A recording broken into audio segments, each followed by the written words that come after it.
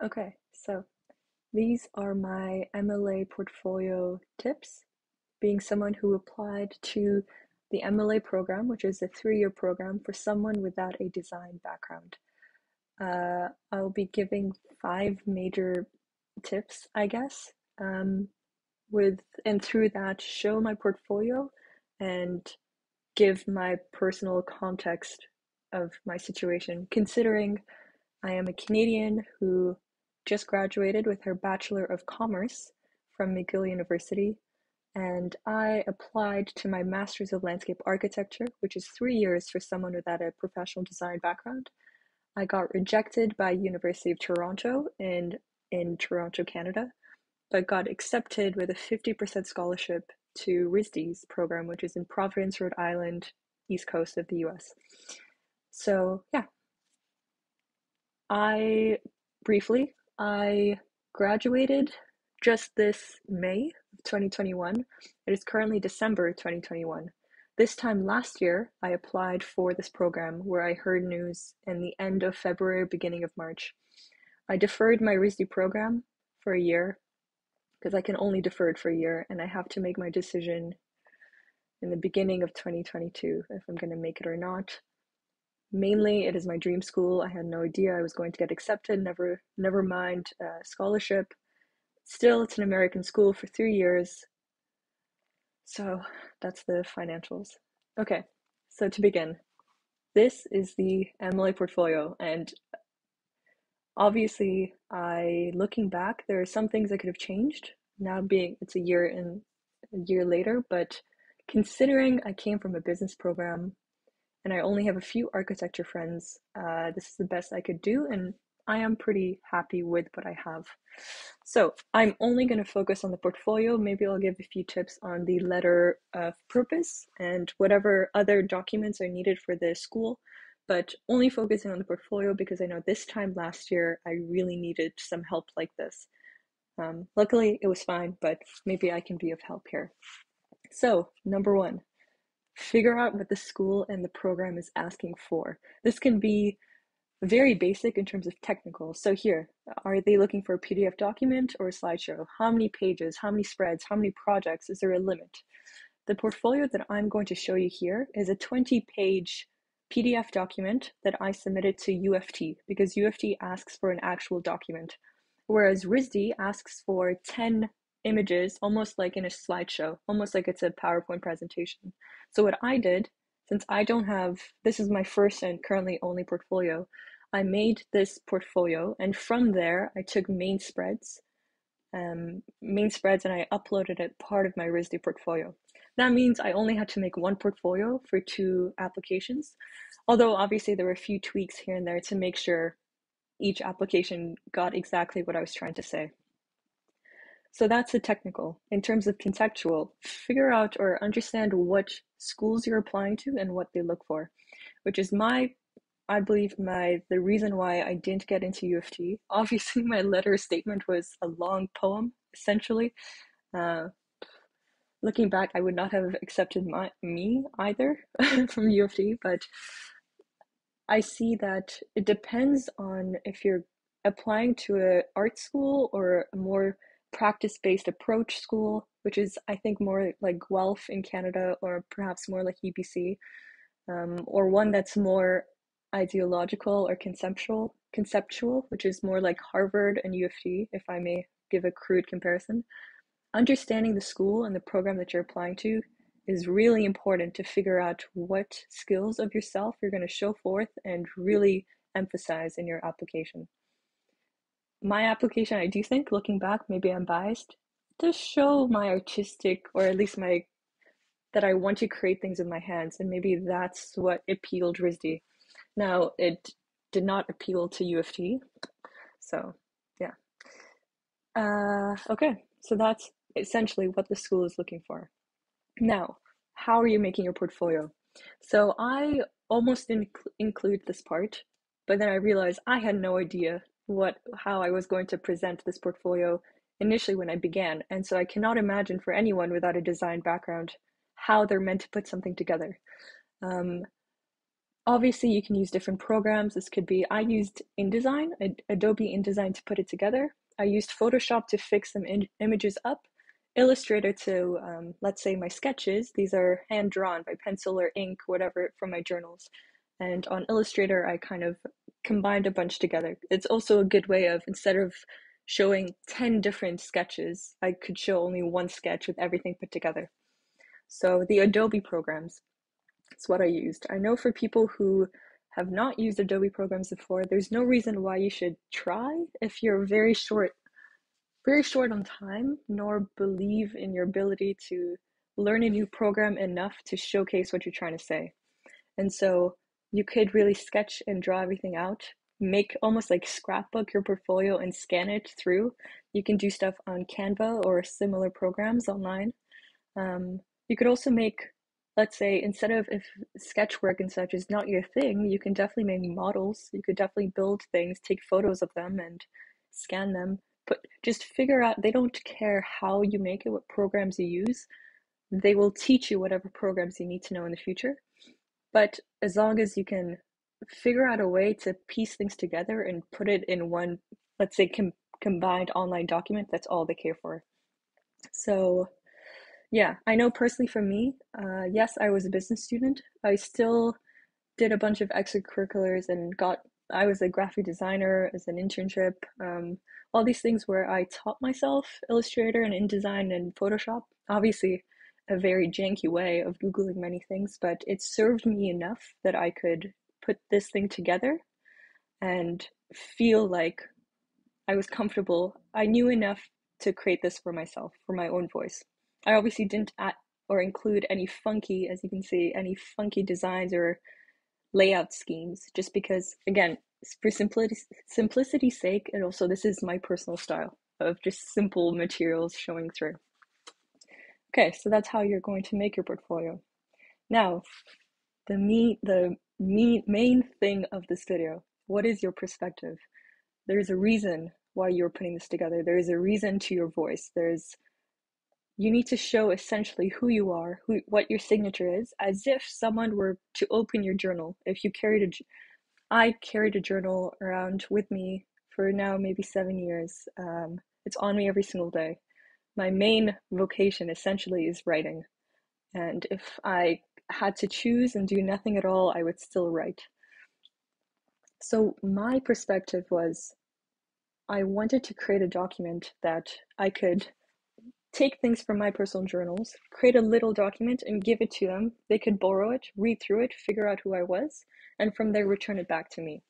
So that's my perspective in terms of the layout, the form, um, the the contents that were in it. What are they? What are they receiving? Are they receiving a full story, or are they receiving little snippets of things in my head? Whatever it might have been. Uh, let's see. What else did I say here? Yeah, I write essentially um, that was my format. Now, in terms of the material, the content, which was more so explained in my letter statement, was essentially my thesis. My form is as a writer. My thesis is I see patterns everywhere, and these are the patterns that I want to study, specifically through the discipline of landscape architecture, through the discipline of, I guess, nature and the way it's built and the way we live with it um, how it grows and evolves, how we piece things together, but also how it naturally disintegrates or falls apart, whether our doing or not. Um, and I know in my so U of T only asks for um, statement of purpose as well as some writing samples, but RISD asked for a video as well, of a minute or two minutes of you speaking about why RISD and what your perspective is. So in that video in particular, I was explaining how let's say my name is uh, kind of hard to tell where I come from, although I'm mainly Arab roots, but these Arab roots moved a lot, although they all originate in Palestine.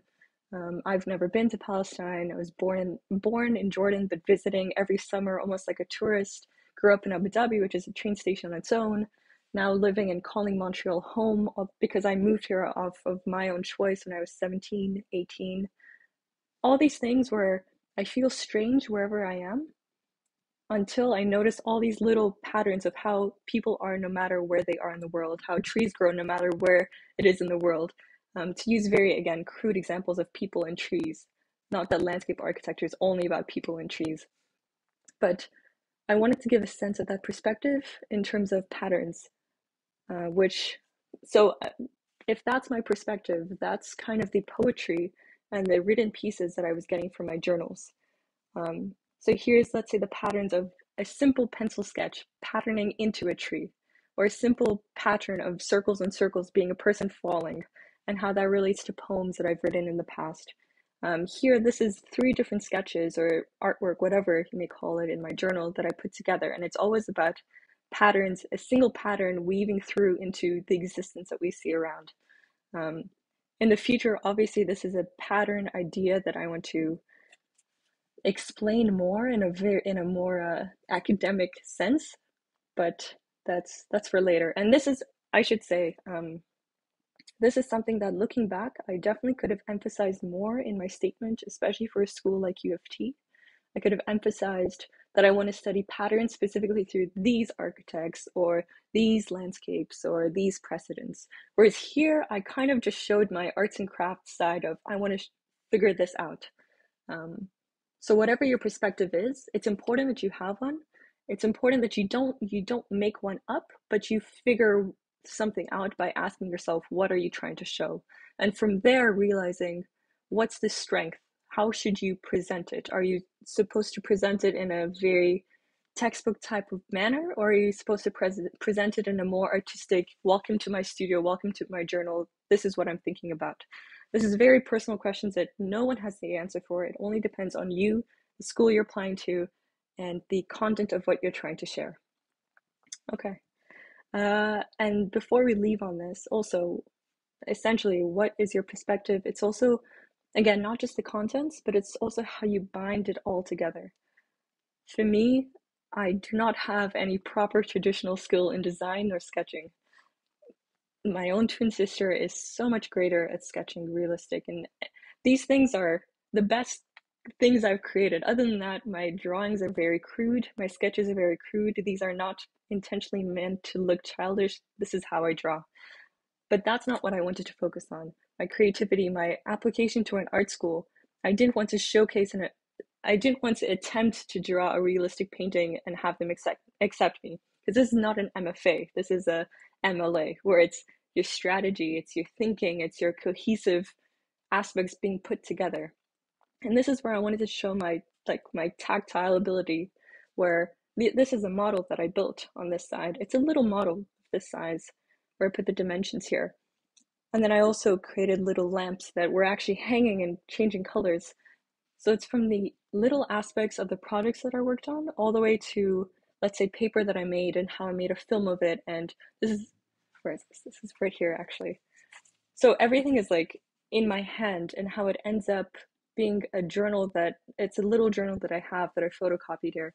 I just wanted to show that my perspective is yes, there's so many thoughts in my head, so many things that I write down, so many things that I create and strategize, so many things that I take photos of and get that inspiration from the world. But at the end of the day, I also want to show you that I'm creating something. It's not just ever stuck in my head, it's never ever stuck in my heart, never just in my pages. It's all cohesive, being put together, that there's a form of communication. And that's my perspective. That's my communication. That's my way of sharing and giving and creating. Okay. Point number four. What are you showing us? So I guess this also relates to number three, but maybe because if I wanted to make a short version of this tips video is essentially what are you trying to say? What is your signature? I I obviously my portfolio is very different in the sense of it's so objective because all these projects are all personal initiatives. Like this is paper I made because it was the first COVID summer and I was living on a balcony and I had time to kill. These are photos that I took years before. I took these photos in 2018, spring break, when we went to Cuba. Um, and this is, I was in high school living still back home, Abu Dhabi, visiting Jordan. Um, this is a school project that I decided to take as an elective, and I worked on this project, and it was a completely free rein of pick a plot of land anywhere in Montreal and figure it out, design something for it. This is work that I pitched to a department, part of McGill. So everything is all very personal to me. There is no one who could have told me you should do this or do that, which I have I had so much creative freedom, which is cool of how to pitch it, how to present it, how to explain it. But also it's super objective because if I'm piecing all these things that I made for my own reasoning and I'm putting it together to apply to a school, who knows if they're actually if any of this has merit or not. But I guess I took the risk because again, without a professional design background, there was no way I could have presented 10 pieces of work that were properly gone through and assessed by other people before being assessed through the design school. So obviously it seems like I was at a disadvantage. Obviously, it seems that anyone applying to architecture school without a design background is at a disadvantage.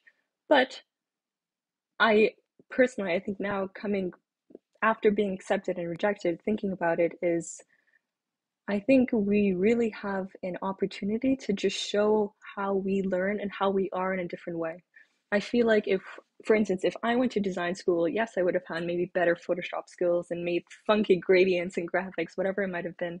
But I do think I would have been, um, I would have known what existed and would have only designed within what I knew existed.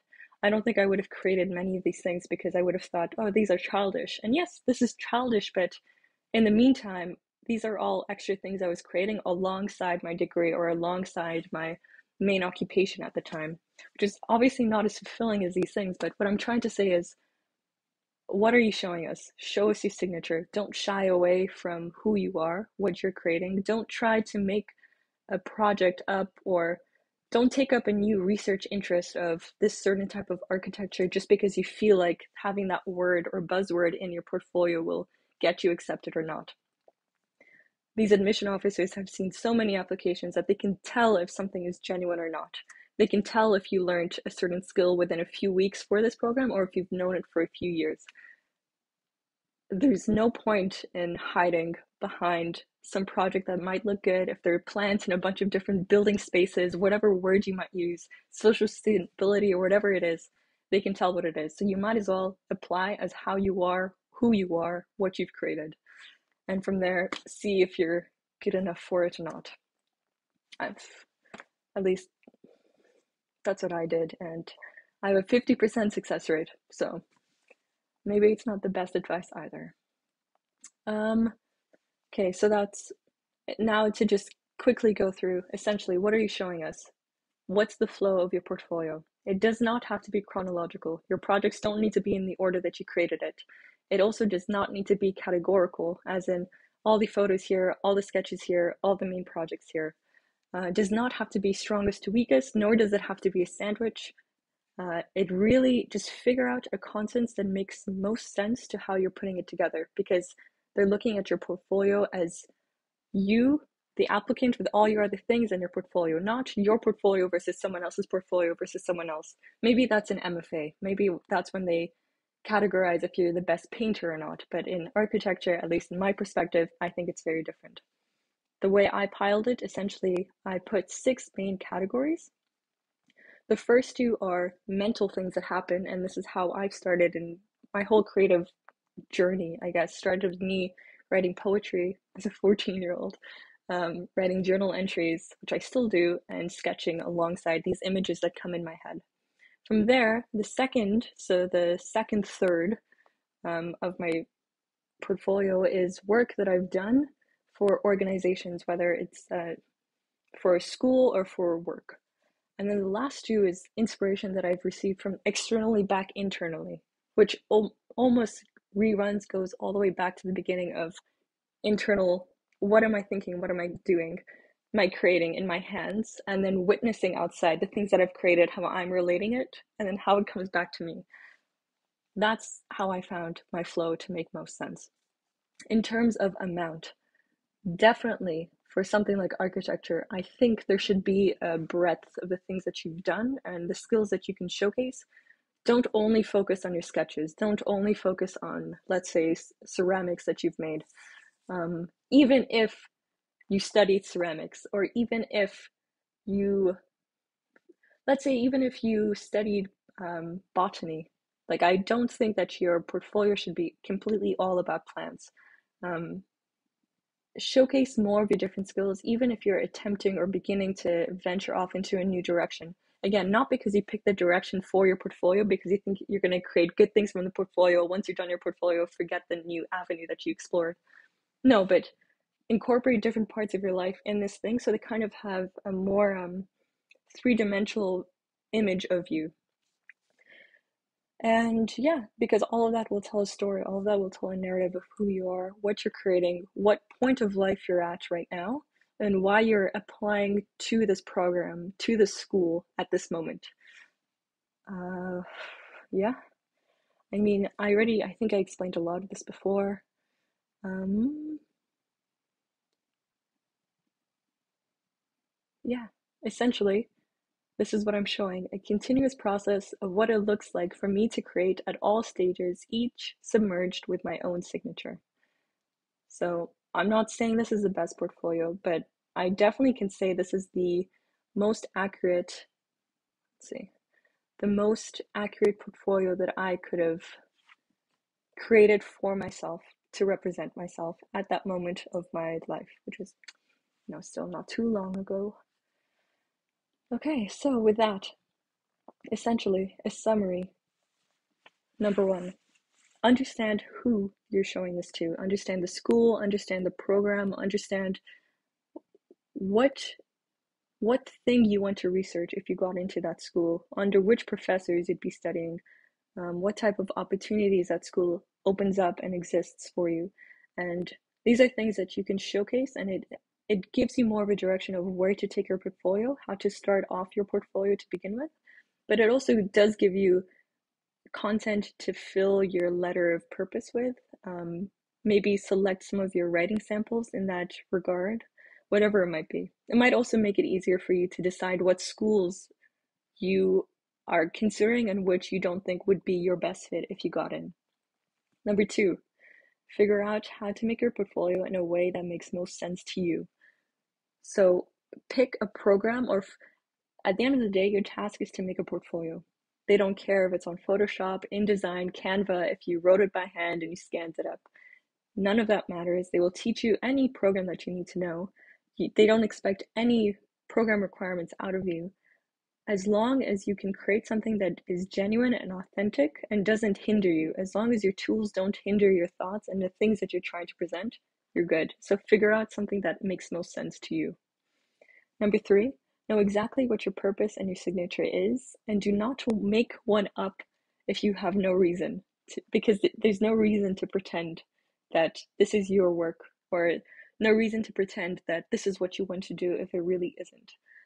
You're applying to a program with your name, and it's it's such a new beginning in your life and it's one that it's not like a bachelor's where it's almost expected out of everyone in society. It's you taking up a new avenue in your life because of your own personal fulfillment or wherever you want to be. So there's no point in hiding who or where you want to be or how you are. Show who you are at this moment and ask for the help that you need there's a reason why you're applying to school not because you know everything and you want to be accepted to do that but because you are interested in something and you don't have the skills for it, but you can prove that you have the prereqs to get there and prereqs to get to where you want to be.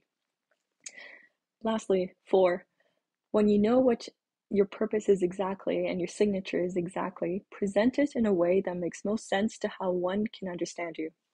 In my case, again, I'm a writer and I write. Um, and I wanted to show it in a way that if I showed my parents or if I showed my friends, if they were to ask, Oh, what do you do? Can I see some of the things you've done?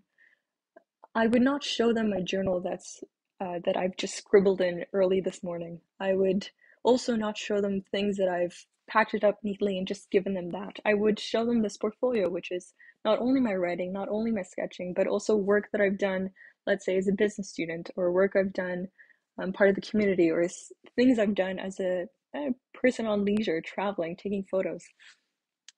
So I, my main thing is just figure out what you're trying to say.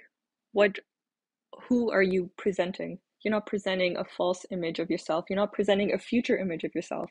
You're presenting who you are right now and where you want to be and why you want to be there in particular. So